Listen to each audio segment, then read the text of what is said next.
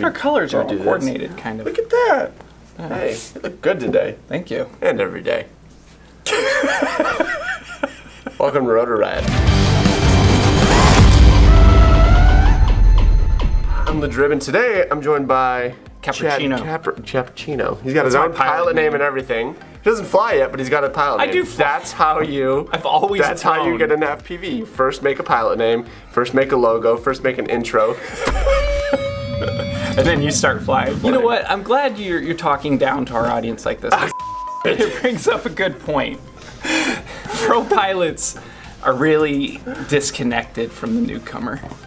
You don't remember what it's like. Yes, I do. No, you don't. Yes, I went out and crashed a lot. No, none, none that was of the rotor yesterday. right. As you'll see in these episodes, we have two episodes coming. This one and then a, uh, a flying episode. So what's going to happen is I'm going to build. I'm going to become the newcomer because I seriously have not really experienced this hobby like I should have. I've spent a lot of time just focusing on production and the business. I barely fly at home. Right. But lately, I've opened back up. I've been able to actually fly. Here's the problem though. All of my gear, it's just like test equipment or you know, it's, it's stuff prototypes that I get. I can never get used to a rig. So I've built three quads, but it's I don't know, you can't start with a quad and just like know what settings it should be or whatever, especially if you haven't been flying.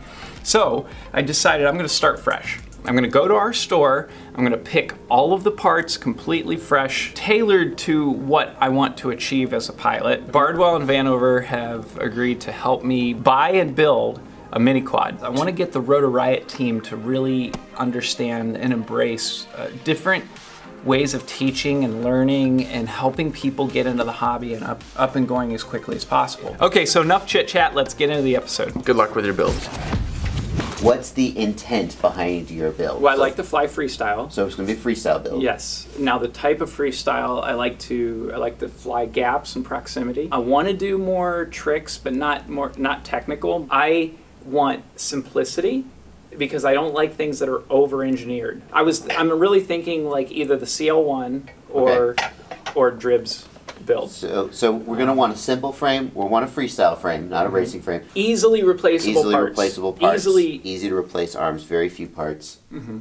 and let's, it's let's see what we got. Let's look at the store and let's start looking at frames. How about we, five we inch want frames? five inch. Five inch. That's what we're focusing on today. Yeah. So we've got the CL1. Is it in stock?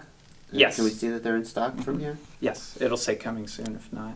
So, Okay. So I CL1. like that it's cheap. Mhm. We always have parts for it. Only other thing I was considering was I do like kind of a, a unibody design, just because I feel Yeah. I feel like unibody designs have less vibrations. I think there's not one answer there. I think Alex needs to be in this episode. Some some unibodies have resonance issues. Yeah, there's yeah a lot of unibodies. Something about the way that the arms disconnect from the main plate Uh-huh. actually breaks up the resonance, Okay. And you won't get those harmonic vibrations. Um, I don't think there's a single answer there. Okay. But maintainability was a big concern for you, more Yes. and durability. So a unibody, once you break an arm, or Right, even if you just the scuff the end off the arm, you got to rebuild. Just take the whole bottom plate off. I personally prefer unibodies, hmm but um, Why do you prefer them? well, I fly the Chameleon, Mhm. the, and on the, the the non-unibody version of the Chameleon is the Rooster, and it's a low deck design. And when the arms go in, there's not a lot of room on the inside. I got you. So I like the unibody because it gives you more room. I do like a shorter thing, but the CL1 it's easy to customize. You just get which is different standoff. So the CL1 is is an option. Let's look at what else we got. Let's Okay. look at our other options. let's- Chameleon Ti, fantastic Mhm. frame, but it's a unibody and it's pretty expensive. A lot Well, of people would shy away from Three it. times more than the CL1. Yeah, it's a great. so it's is my the- preferred freestyle frame. So it's is the great. Le Drib Skyliner. The Skyliner you were looking at. That looks a lot better, but again, I would say I don't care if.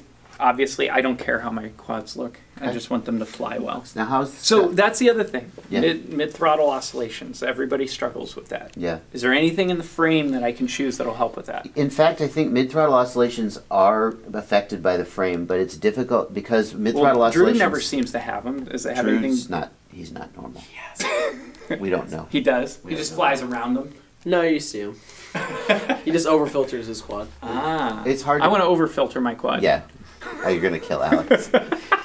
it, it's hard to predict which frames because it's the combina- it, the combination of motors, ESCs, and frame and props together. Mm-hmm. So Can can, you help me find that combo? Yeah, well, what you do is you build a quad, and then if it happens, then you try to I, fix it. Okay, you're here because you're supposed to know that. It's it's You're just really, supposed to know, Joshua. So we can go we can go with settings that have Does worked Alex for other know? people. How do you fix it? What's that? How do you fix mid throttle? It- it- no, I want to minimize like the, the the best chance of not having them. Well, the, the whole chance to get get rid of them is you have to think about like where the vibrations are coming from, which is obviously from the motors. But like generally with the most of the frames on today's market, you're gonna get vibrations from the motors pretty much no matter what because we don't soft mount the arms to the quad. The, the biggest thing is building the quad properly with like good motors and everything, and then tuning Yeah. the quad properly. Okay. To get The thing rid is those the thing is if you build a tight quad Mm-hmm. with decent motors and stuff, you shouldn't We'll get minimize mid-throttle oscillations. You want to keep everything, and no matter what type of quad is, away from the flight controller. That's usually mm-hmm. what's going to backfeed and, and cause noise and cause vibrations and all those kinds of things. So when I'm picking a freestyle frame, I want to actually separate everything as much as possible, VTX from the RX and from the flight controller, to try and keep the noise Okay. away from everything else. Okay. So I want So- a no nonsense. Yeah. Just flies well. Yeah. Not I, it, the the image is important to me. Yeah. The stingy I have I like. Stingy's a hundred bucks. So what's your price? I guess what's your price range? Well, it's something it's, everybody has to think. About. I don't about. think it's a, a price range. I think it's value. I want Yeah. the so the important pieces to me is I want it to, to look good. So I want to have as few vibrations as possible. I see. Um, I want to fly freestyle. I told you the style Okay. of freestyle, and I want it to be cost effective. So I think anything hundred dollars or more is is too Okay. much for this. But hundred dollars is okay. if you can sell me on it, honestly, I really I really Yeah. love high value. So when, when I'm looking at thirty five dollars and it flies as good as a hundred dollar frame, then Yeah. I get excited about that. Well, I definitely think we can build a CL1 with quality components that'll fly well Okay. and be reasonably durable. I mean, I want to Um, support Drew, and I do think it looks good. Yeah. And I do like that it's a lower deck. Yeah. And it has the camera cage. But Well, you again, built a CL1 already. no, this it's not, is no, that, CL1? that's the Kwad Box. Oh, that's not a CL1. No, I've, hmm. I've never built So a you CL1. haven't built a CL1? Speaking of value, though, I do think the remix is the best. Like you get the most for the money. Maybe we should make you build a remix. Well, but I want three quads, and I don't want to Oh, build three remixes. okay, so I'm going to do the CL1. I'm going okay. to do the CL1. Okay, CL1 so we got is. our frame. Okay. Uh, what next? Motors? Um, how about flight controller? Flight controller. Do you build around? That's a good point. Do you build around motors or flight controller? Well, the flight controller, you can put almost any flight controller into a build. Just pick one that has the features you like. Well, The. I motors like, are going to really affect. I like flight one because setup is Okay. so fast. Okay. Then, Like I know Alex likes it too. Then, that, then what do we got for flight? I mean, there aren't many. but I don't I don't have enough feel Yeah. to know the, the like the flight quality difference between Betaflight and Flight One. Yeah, yeah.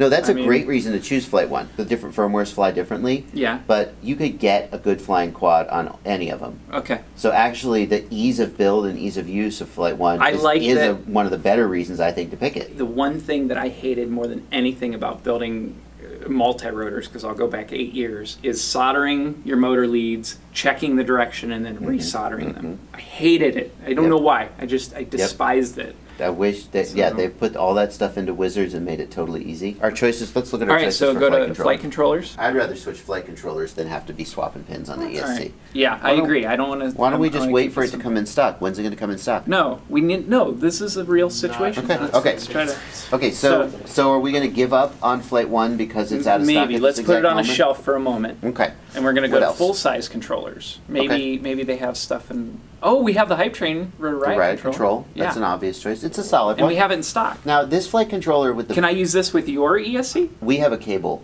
We Right. stock a cable. That's that, what I yeah, remembered. You can do that. Okay, add this to my cart. Okay. Okay, sorry. I mean, I jumped at that, but I'm obviously way more familiar. Do we have that. my ESC also? Um, well, that's the flight controller. So wait, real quick, Okay. let's look. So What we do have the RaceFlight.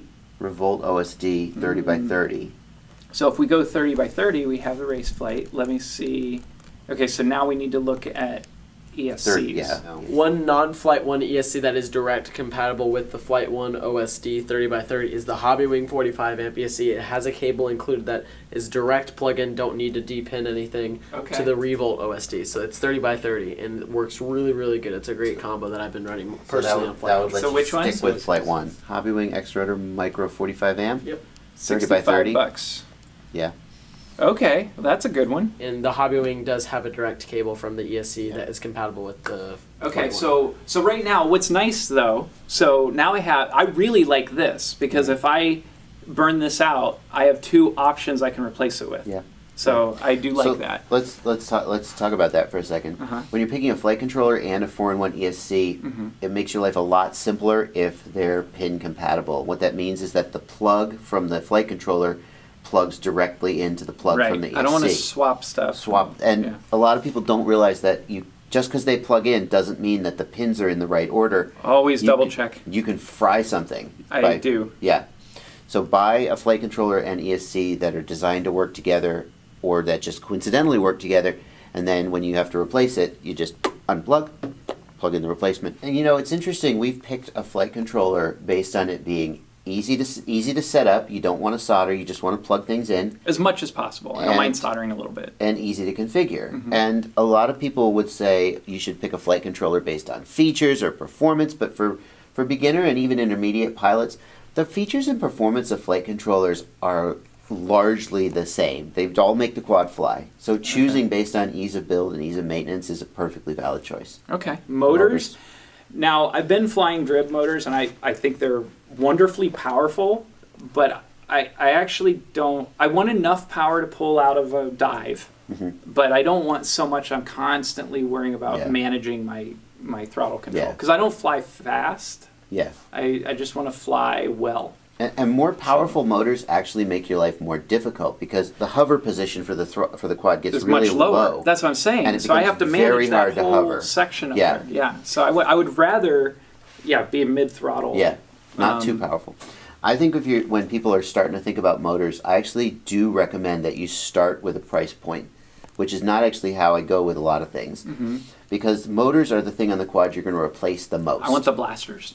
okay, Now those were my baby. Right. So I I designed now not the flight performance. Tommy did Yeah. the testing on that. Yeah. But as far as what they have to offer and the, the, the style and and and just the whole concept of it was my baby yeah. from the beginning. So, I So the- have to choose those So the blasters are going to be 28 bucks, which is a premium price for a motor, but for the first set. that's 28 bucks for the first set, and then you can replace them. Right. And how much does it? We changed the. pl- It Yeah. used to cost 10 bucks to replace them, You but now get them actually, replaced for free. so you get Well, you got to pay shipping. I'm, I'm just being honest, Now, but- but, we should at least consider you- other yeah. motors. So let's talk about let's talk about this Uh-huh. price. You're gonna pick your price point. An eight dollar motor is a super super cheap motor. It's Mm-hmm. don't don't get it if you can avoid it.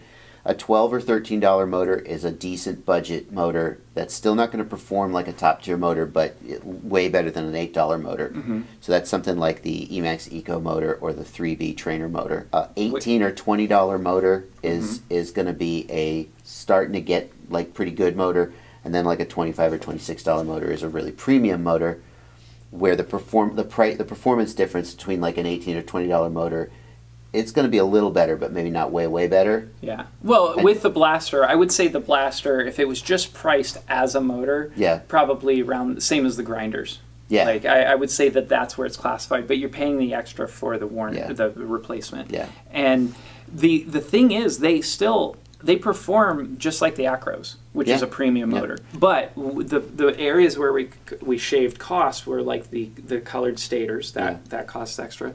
Um, we have the uh, the bearings are a cheaper bearing, but Yeah. they still hold up pretty Yeah. well. The aluminum is actually the less expensive 60, aluminum, but it is yeah. thicker. So there there were trade offs. Yeah. But we feel actually they are more durable than I realized they would be. Like because we're we're getting fewer replacements than we Yeah. thought we would. So that's a good thing. So I I always tell people ask yourself when you crash and destroy a motor, how much are you going to feel like you can afford to replace because you're going Right. to replace motors. Although with the blasters you won't have to deal with that. Mm-hmm. And then we can think about size and KV and in general for like a 5 inch freestyle build, I would say pick either 2306 or 2207 size. So okay, wait, wait. At about- I'm trying to put my head in the space of a, Yeah. of newbie, a Yeah. beginner, Okay. and my head's spinning right now. okay. and and it kind of is. Okay. Because seriously, as our own site, I go here. There's Yeah. just so many freaking options. I know. I like options. If Yeah. I've tested eight different motors and I keep wanting to tweak, Yeah. I want tons of options. Yeah. But if I'm just, I just want to go fly. Yeah. I want like four options. I'm going to make it simple for you. Okay. for a 5 inch freestyle build, Mhm. pick a 2306 or a 2207 size motor, Mhm. and shoot for about 2400 kV. Okay. That's just So- that's just that's just a great all round. The grinders answer. would be a good one. Yep.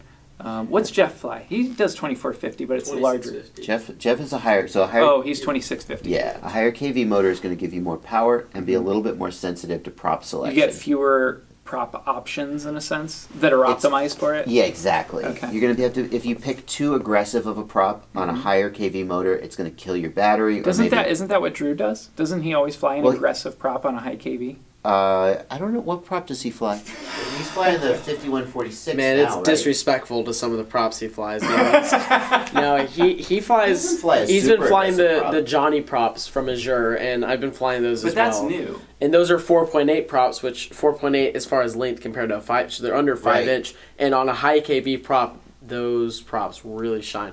So he's been more responsive. That's why So he, all of a sudden. not five inch props. But see, that's all of a sudden why he started. He hasn't really found a prop in the last year that he's like, oh, I'll fly whatever. But when he started flying these props like I did, we were both like, wow, Yeah. this is really good because it's more optimized for higher KV. Okay. So with a lower But, yeah, KV, he was not flying an optimized prop. no, not at all. He was flying just a one of his motor. Yeah, But I would- ridiculous I would, props. I would say this: a pro pilot and an experienced builder Mm-hmm. is going to be able to get good results out of a combination that a beginner or intermediate wouldn't. Okay. And 2400 kV, you can put literally any five inch prop on that, and it will fly okay. I like that. I like options there because Yeah. sometimes, like, I have a drawer full of about 18 different sets of props. It lets you uh, experiment with different props. The Mm-hmm. quad is not going to suddenly start flying bad Okay. On any five inch prop. And I think I think I would steer you towards 2300, uh, 2306 size. okay. A 2306 sized motor is going to be a little bit more linear in its throttle response. Than, then a a, a 2207. 2207 is going to be a little bit sharp, more poppy at the top end and But I less kind of like that. Uh, th- that I do like. So when Yeah. I set up my throttle, I Yeah. like because I want more resolution here. Yeah. And then when I have to, I can just punch out of stuff. So the 2207, and it's a very subtle effect that Mm-hmm. many people might not even notice. But the 2207 is going to have a little less resolution and torque at the low end. Mhm. But then as you push Wait. the throttle up, it's going to it's going to go. It's more resolution. the right? 2306 is going to have a little bit more linearity and resolution Right. at the bottom end, Oh, I see but less sort of just raw all out at the top yeah, end. I would I would like two thirds of it to be, uh, and then the last third beat. So you want you want the 2207. Did you get that? Yeah. So 2207, 2400-ish kV is what we're shooting for. Okay. We should acknowledge that when we're talking about motor KV, we're assuming that Chad's going to run A four a cell. four cell battery. The KV and the battery voltage are related. Mhm. If you were shooting for a higher voltage like 6S, we would be going lower KV. Mm-hmm. Okay. So this this recommendation to go 2400 kV assumes you're using four cell, which most that's what I recommend for for beginners and intermediate pilots. Okay, so we, we got to settle in on a motor. Uh, obviously, the first one that comes up is Yeah, the, the the, Blaster. blaster. and then the Acro, which these are identical. I mean, almost identical as far as performance. You said you care a lot about the image quality of the video. Yes. And normally, I would not steer like a beginner or intermediate builder to Ah. EZO bearings, but if you care a lot about those mid throttle oscillations and do. smooth video, That's a good point. you're going to want those EZO bearings. All right. So I Any motor can be smooth out of the factory, although not all of them are. right. But the EZO bearing motors are going to stay smoother longer So when you're crashing them. What are you hearing about the Acros? I mean, 2207, 2450 kV, Mm-hmm. EZO bearings, solid build. I do Let's like the orange stators. what else we got. Hold on, I'm gonna put four of these in my Okay. All right, Okay, so so, we our motor. we got our frame, flight controller, ESC, and motor. Yeah, camera, VTX. Yes. Okay, camera. Antenna. I do love the Rotor Riot Runcam Swift 2, but I suppose I could run it since it accepts a full size camera. The CL1 does. Um, micro cameras are where most people are going today. Yeah. A micro camera with a with a well, full this size is a- lens. but this is a CCD with a really nice lens. you like the CCD though. I do. You don't want the CMOS. I I'm fine with the CMOS. Although we have had some complaints about our case cracking. Okay, so let me just ask you, what would you recommend without my input? I like the look of a CMOS camera. A CMOS camera has better dynamic range. well, that's true. It's yes, a very right. it's a very personal thing though. Mhm. If you want the CCD camera, the Rotor Riot one is one of the best. That's a fact. yeah, but I'm I'm not opposed to. You can talk. Micro Sparrow 2. Please. All right, For a so good. So let's go look at For it. a CMOS camera, there it is. Micro Sparrow 2.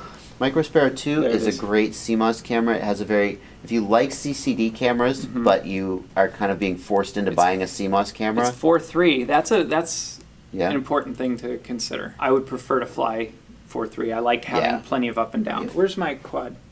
The um, Skadoosh. What camera do I have on there? so this is the JB Micro Eagle. Yeah, but I like that camera. So I have your camera Yeah, on my, and I like that. Should I just stick with it? yeah, stick with it. So That's- this one's I like 41. What I and I, I trust mi- your opinion, but we're out mi- of here- stock on it. the micro. Really? yeah. Oh, I must have got the last one literally. Yeah. The JB Micro Eagle, uh, obviously I like it because I tuned it. Uh, it has great dynamic range and great low light sensitivity. It does have a little bit of noise in the image that some people really object to. As long as I can But- see it. 46. So it's similar price. Yeah, it's a little it's a little bit expensive. But Um, it's, I mean, it's only a couple bucks, and it is Yeah. swachable, and I do like it, and I already have it, so I'm gonna Go I'm with gonna go with this Go one. it. Okay, the VTX. Um, I like the Tramp because um, you got the wand. because I have the one. Yeah, However, I just installed a Mach 2 the other day. How different is the Mach 3? Mach three takes 6S voltage and goes up to one watt output power. Okay, that's not as important to me. What don't I you, like? let's let's ask this? What don't you like about the Tramp, if anything? if I were to critique the Tramp, two two problems I have is it's one, it's it's bigger than a lot of flight control. Or I'm sorry, VTXs. We got a lot of room in here, though.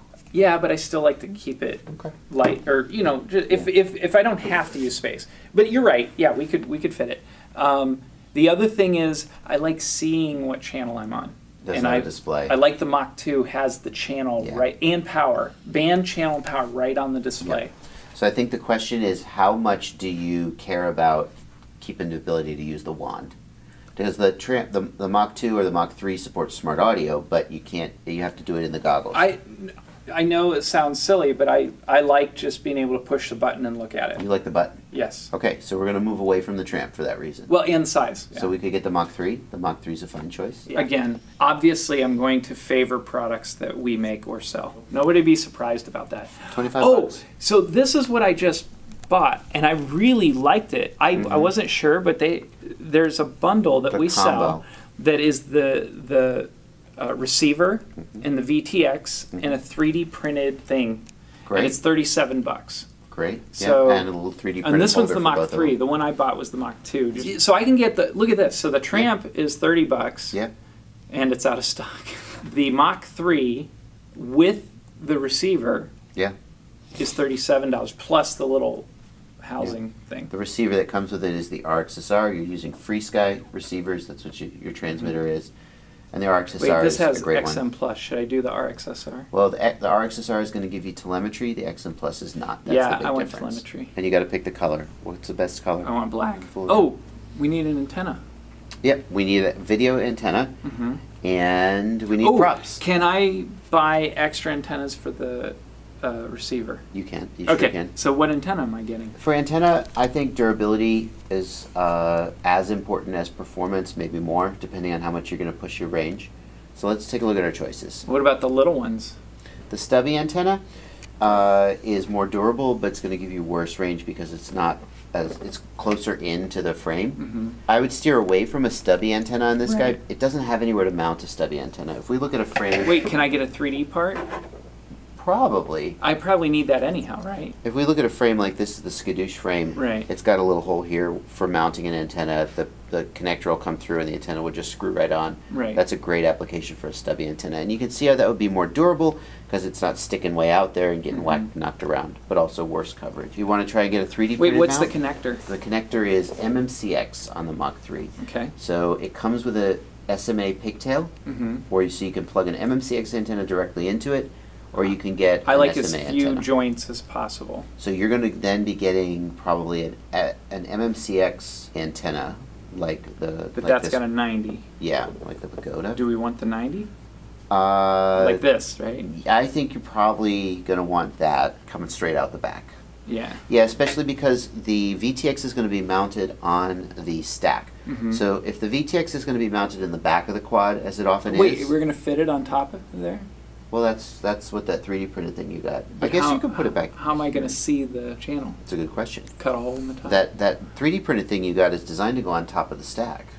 But well, it's- on my skadoosh, I put it behind it. I don't know if you're going to have enough room on the back of the CL1. The back of the CL1 tapers down. Mm-hmm. That's a 36 millimeter sized because it's designed to be the same size as the flight controller. But you can Mm-hmm. see a 36 millimeter sized thing is not going to go back here. There's not enough room back here on the back. Okay. Should I do the tramp? Uh, you can still use the Mach 3, but maybe not with the 3D printed thing. Just we'll just stick it back here. Okay. If the Mach 3 was going to go in the back here, I probably would go for a 90 degree antenna Uh-huh. because I would mount the Mach 3 sideways and then have it stick out the back. Okay. The straight one, if you, Oh, I see. So you're we need put the them- 90. I think I would go with the 90 if it's going to be mounted in the back. Okay. Yeah. So probably you can get a Lumenier for seventeen ninety nine. Yeah. There we go. So this is the one I want. Seventeen ninety nine, Okay. and it's got a ninety. Okay. And then we're going to try to find a 3D printed mount for that. For this one, let's see if we can find the right mount because there's going to be a mount that just holds this. So, we'll add to add cart. that to the cart. Try searching. Wait, should it might we might recommend stuff, right? It would be great if we did that. No. of course Search not. for AXII AXII mount because there's a mount specifically for the AXII. There. That's it. Oh, that's the That's one it. for the CL one. That's exactly what we want. Seven bucks. Perfect. Love Perfect. it. All right, so that's Great. what we're getting, right? Yeah. All right. Oh, I'm nervous. About to hit the buy button. Um, last last is props. Wait, I need antenna tubes. See, I recommended them. Oh, good point. I like Black. clear. Not like clear because I want wanna see see the antenna. All right. I what, think we have everything but props. what kind of props? Um, I like durable. So when we're thinking about props, generally we want to think about size and pitch. Mm-hmm. We know we're going with five inch props. That's Right. what, that's a good all around choice, and that's what we're targeting with our frame. Pitch is the angle of the prop. Props with a higher pitch are going to make more thrust, but also kill your battery more. I do That's the gist of it. like more flight time. So we'll, we'll be More leaning efficient. towards lower pitch props. Okay. And that'll also help with that throttle management thing you were talking about earlier in the video. Okay. They're going to be less powerful, but they'll be easier to manage. HQ is, makes excellent props. They're a little bit pricey for some people. I do Mm-hmm. I like don't- that. I'm not worried about price on props because it's so minor. I mean, it, the, the price differences are so little.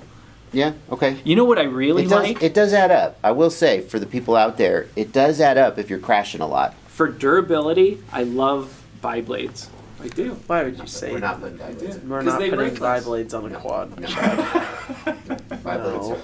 Actually, I, I think the bi-blades do ha- still have a purpose in FPV for like racing in very very specific scenarios but where you need to go, round. but not for freestyle. But definitely not for Oh. Chad, that's just you gotta disrespectful. explain why. One one sentence. Why? So this is kind of like the whole argument with they. Actually did a really good episode about this mm-hmm. a few years ago. I feel like that's just a better episode to link to discuss this. But essentially, tri-blade props generally. I feel like I'm gonna sound really dumb with my response. Maybe I should just say go watch that video. Um, bi-blades. But hold on, wait. This is this is what I want to cover in this video, like right there. So here's what happens to everybody. I want to, I want bi-blade props. I'm a newbie. We've got two industry pros here. They're like, oh my gosh, that's stupid.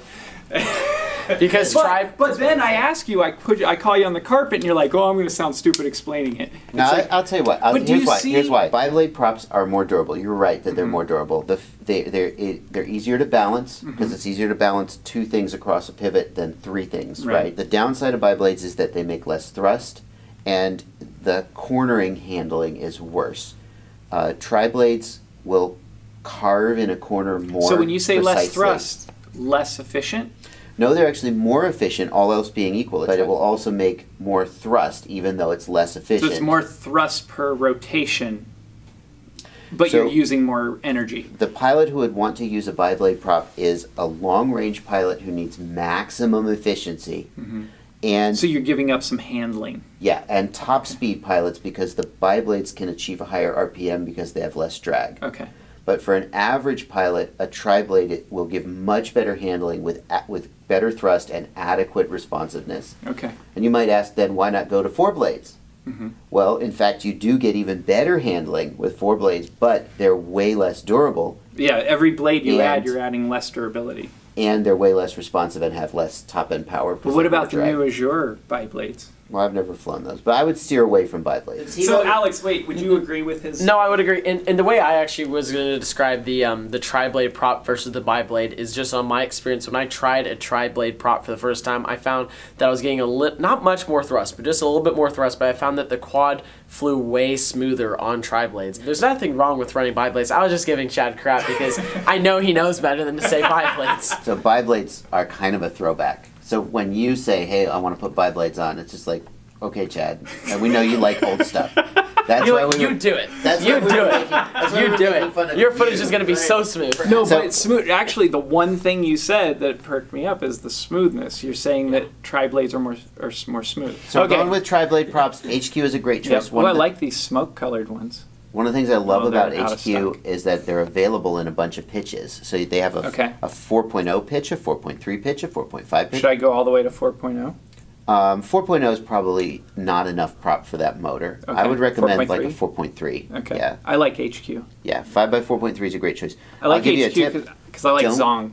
Don't get the black ones. Clear black or smoked black is okay, but the actual plain Really? black props are made of a different kind of plastic and they're less durable. I did not know that. Yeah. Then uh, what about clear? Fine. Colored props up. Don't get the plain black ones. Okay, so we have I. Oh, think we're, battery. let's check. Oh, batteries. Yeah. So we decided that we're going for four cell batteries. Mm-hmm. Four, four cell voltage. That's a good starting point. Honestly, can't I, just the way I'm gonna fly. Pretty much any battery. I just want a cheap battery. Yeah. Right. So the Race Quads line batteries are good performance at good price. You just have to ask yourself what size battery. So Thirteen or fifteen hundred, maybe. 13 or 1500 milliamp hour is a great starting point for a 5 inch free cell quad. Three pack So- for fifty-one dollars. So that's the CNHL. That's also a really, really good budget Yeah. battery. Okay, I'm gonna go because we have China Hobby Line in Yeah. stock, and that's a three pack. Yeah. Okay, so any little accessories like 3D printed parts? How am I gonna mount We my got- GoPro? We need a GoPro mount.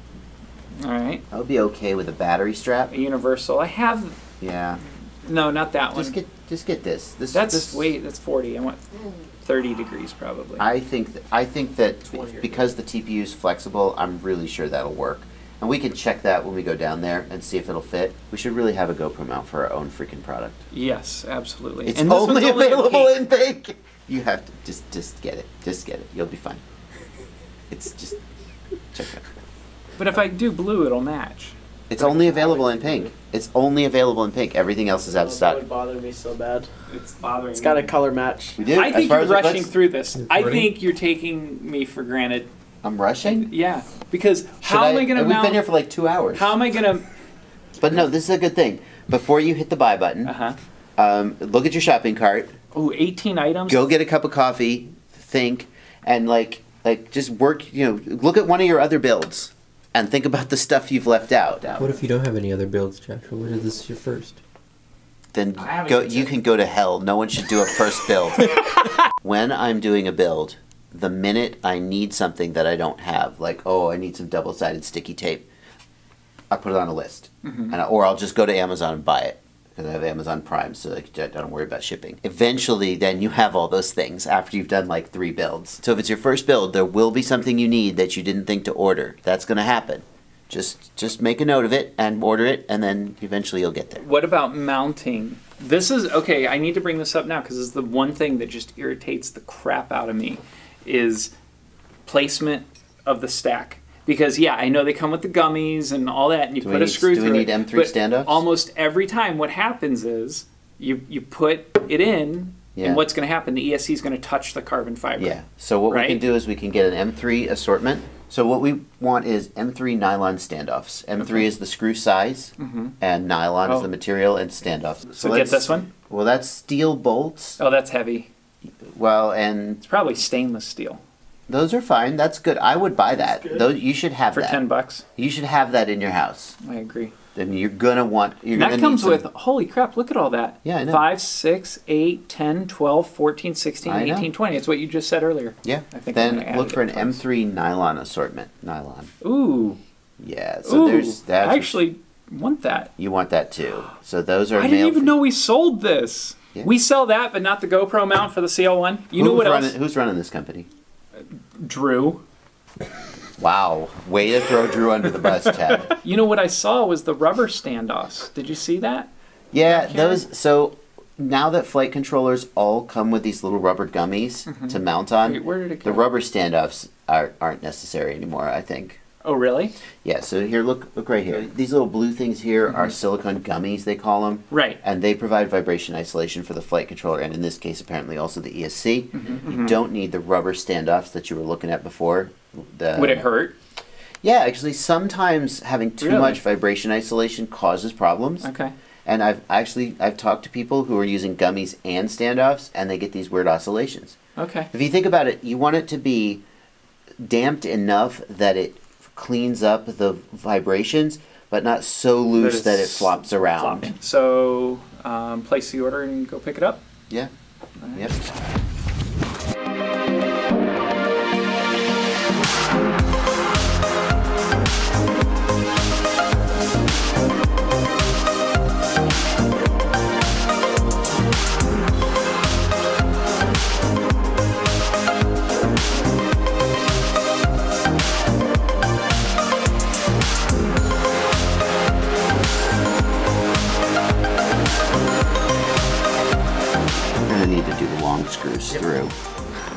See, this is the part that I hate the most. We don't have enough Meat. thread, enough needs to thread be there. like that. Yeah. That's what needs We to gotta back up. See these? Every build has some unique combination soft mount. of no of of stacking. Oh, right. Like every build I do. So on this particular build, I opted just to use what was included, which was the little Hobbywing spacer that also holds the ESC in. Mm-hmm. Typically, when I'm building my quads, I usually take one of these gummies, I cut them in half, and then I use that as space in between the ESC and the flight controller. However, the gummies on the Hobbywing ESC, they don't really hold the ESC down, mm-hmm. whereas the gummies on the actual Flight 1 ESC do a great this isn't a good example because I still have a plastic standoff in there. But my point is any way to separate the flight controller from the ESC that keeps just enough separation but holds them both in place is what you need. I spend more time trying to figure out how to stack the stack Mm-hmm. than the rest of the build. What I'm gonna do is I'm gonna stick this through and then I'm gonna check it against the size of a standoff. Okay. So then we're gonna put an M3 nut here, and that should give us enough. That's then, really close, but it's not going to touch. and then do we just, Alex? Do you just set the flight controller right on top, or do you have another you, you have to spacer? put a p- spacer in between. Is there another spacer? So we'll use well, because even if it's not touching, the ESC has a lot of stuff going on. Exactly. And it wouldn't be bad to have something to hold this ESC down. So I would if we'll put another nut. So that's why I like having these assortments. also you want to mount your flight controller so your USB is facing down like this. Really? That has to I've been told that it makes it fly better and It's I've what personally you- seen it fly better. Here's why. Here's why. This is the processor Yep. that makes the whole thing go. When it is Go-Go processor? when it's next to the ESC, it gets more electrical interference. When Oh. it's right side up, then it's shielded a little bit by the circuit board, and it protects it from the noise. It's not the it's not the USB that matters. It's the it's this chip here. Okay, I'm gonna break into this video. It is now about two weeks later, and I've had the time to get into it and really tweak some things. So rather than showing you how we initially built it, I'd rather show you how you should build it. So I'm going to break this down and talk about each component and why I have it the way that I do. The first thing we're going to start with here is the battery placement and the power lead. So I have the power lead coming out of the front. Uh, so the battery lead can stretch over the top and connect. The reason I do that is because the back gets awfully congested. Some people like it to come out directly on the side, which I often get concerned about the props. It depends on the frame, but sometimes the props uh, get really dangerously close to it. And I definitely don't like it coming out the back because that's where all your antennas are coming out and it just gets too congested. I do use two battery straps. Uh, the reason is, is because battery straps will break at some point and it's good to have an extra one on there. Um, and then, uh, of course, I love using the UMA grip. And you know what? I do have this. If you don't have UMA grip or you can't get it for some reason, this is weather stripping. It's not as pretty, but it does work. And you know, if you you could just use maybe a couple strips on your top plate put it down like that. So two strips of weather seal. Like I said, it doesn't look as nice, but it does work great. Before I take it all apart, I wanted to show you how I have the GoPro mount on here. It's a Race Day Quads uh, 30 degree GoPro 6 uh, slash 7 GoPro mount, and I did two things. One, I have a um, double stick tape just to keep it from sliding forward or back, and then two heavy duty zip ties. It's these bigger thicker kind of zip ties. I'm just gonna cut these off so you can see. I did do one thing, it's maybe kind of interesting. You see this? I took my soldering iron and I I made like little grooves this way because oftentimes, even with the double stick tape on a hard enough crash, it can slide forward or back with just the zip ties and the stick tape. So by adding those grooves this way, it gives it a little more grip so it doesn't move back or forth. Now I want to talk about the camera placement. Initially, this camera comes with this little cage here. You see these mounting holes right here? Without the cage, you just mount here. And we connected this front hole to that hole. And the problem was you could see the front standoffs because the camera lens was actually slightly behind those front standoffs. So what we did was added the cage to the camera even though it's not necessary and I added another hole in the camera mount. So the camera mount that comes with the CL1, this blue 3D printed camera mount, comes with this hole up here. I put another hole with the, I just use a soldering iron. You just heat your soldering iron up, poke a little hole in it, and you got a new hole. Now I should probably have a washer on there, but it's held pretty well. Um, the other thing that I did was I took a little bit of UMA grip and put it underneath the camera just to keep it from shaking around, just so it has something down there. And to change the angle, it's just friction fit, you know, and you can just move it how you want. I, I got it fairly tight. The placement of the ESC and the flight controller. This special little formula of spacers and gummies is always tricky. In that kit of standoffs, it gave us uh, these little nylon nuts that were just the right spacing. So I was able to put one at the bottom, use the regular gummy that comes with the ESC, put one in between, and the gummy for the Flight 1 flight controller. You'll notice I don't have anything on top. We just run this without any because it, it fits tight enough that it's not going to go anywhere. And it has not loosened or come up or off or anything. Most all-in-one ESCs are going to come with a um, capacitor.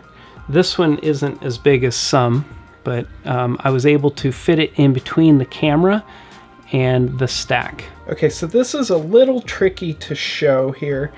This is the radio receiver, um, and you can see I have it zip tied to one of the other camera mounts. So the CL1 comes with a shorter and a longer camera mount, and I used the shorter one as a holder for the radio receiver. And you can see it just mounts to the standoff, and then I heat shrinked it and zip tied it to that. And then the antennas just come out of that and they go back to the 3D mount and that's how we have the radio receiver placed. Also in there we have the Mach 3, the video transmitter. You can see it's right there.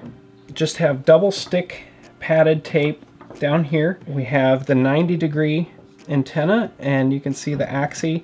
It just loops around there and goes up into the 3D mount. So everybody went off because you guys had a shoot to do, and I was just going to finish the, the setup. Mm-hmm. I plugged it in. It didn't recognize the flight controller. Did you have the right drivers installed?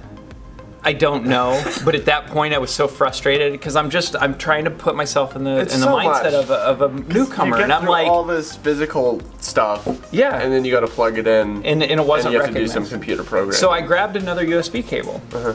Still didn't work until I grabbed the third USB cable. Oh, really? It was just the cable? Yes. It wasn't even a driver thing. A lot of people don't know this, but some USB cables are strictly for charging and don't pass information Oh. properly. Be aware of that because something like that, it just demotivates you. Yeah. You're like you put all this work in and you just you, you don't know why it's not, not working. That's something I think is important, but you know, one of the things I want to do is I want Rotor Riot to be able to accommodate all of these little tiny little things and help people through the process. We got to hover it in the warehouse and actually got to watch all of you guys fly it, which was really impressive in a tight location. All I would do is hover it in there. I'm not gonna You just gotta fly rip it it. around. So now that it's all done, uh, and we hovered it, we know it works. I would consider that a big success. It's a good looking quad, Chad. It really is. Thank you, Josh. Actually, it's, it, I'm serious. It's good looking. I think it is a good looking. You were quad. better Wait, why are what the you- motors warm? They shouldn't be warm from that. Oh, they're pretty warm. It's pretty pretty underfiltered setup. but you'll have to fly it with a GoPro outside and everything, and just see how the motors feel after that. My motors get pretty er, pretty warm after a test hour, but my my quads are pretty under filtered as well. It's just one of those things you need to take into account. If you're gonna run flight one, there's all these different uh, like default uh, PIDs that you can pick, and some of them are from custom pilot setups, and some of them are really underfiltered. So make sure you fly them, and keep in mind too, like if you bend a prop or something in a crash, those underfiltered settings may not be the best for you. So you just play around with all the defaults, and if you have questions about the filtering, go check out the Flight One Facebook group. People are more than happy to answer the questions. That was a great ad. Right? More gear, Preston. The intent of this episode was to walk through. This is like undercover boss, but I wasn't undercover. Um, Wait. But I, I wanted to. You're Chad Kapper. Wait, you're Chad? Yeah. At the end of Undercover Boss, Uh-huh. the boss talks about what he learned and also gives a college scholarship to one of his employees. usually. Okay. Great. But more importantly, what did you learn about the experience of being a customer? I think the biggest thing, and I anticipated this going into it, and I thought this was, is it was going to be all the tiny little things like Yeah. the spacing. I think that one thing that this episode and kind of picking all the components taught me was that you know as an experienced pilot, it's really easy to know what you need to put on a quad. But for someone who's begin, who's getting into it, like like you mm-hmm. said, knowing all the spacers, I think maybe we should put sort of some whole completion pack or some type of guide to some of these builds, or maybe have like a checklist of stuff in there. Because I mean, I'll be quite honest. I still forget stuff when I'm putting quads together, and having like a checklist of stuff to know to get would be really, really nice. And for someone who's building their first quad as a beginner, you know, nothing's worse than ordering all this stuff and then getting halfway into your build and like, oh no, I need these screws and not having them. So I think we need to just be ultra, ultra sure that we cover everything in the store, any learning materials. We just need to be more comprehensive overall. Thank you guys for checking out this build with Kapperccino. Let us know what you struggle with. What what are some of the most difficult things about building one of these drones? If you've been doing this for a while, what did you struggle with when you were figuring this out? And if you are just building for the first time and you're stuck, what, what are you stuck on? We want to help you. We want to make it easier for people to get into this and get over all of the little problems that feel like insurmountable mountains. But promise, every little build issue is one that can be solved and figured out, and everyone should be able to get in the air and enjoy the best part of this, which is actually flying. That's what you're going to do next time, so stay tuned to the next episode of Kapperccino's adventure into FPV. And we're going to get him flying, going around some gates, we're going to get him some coaching from Jeff. It's going to be a great time, so we'll see you there.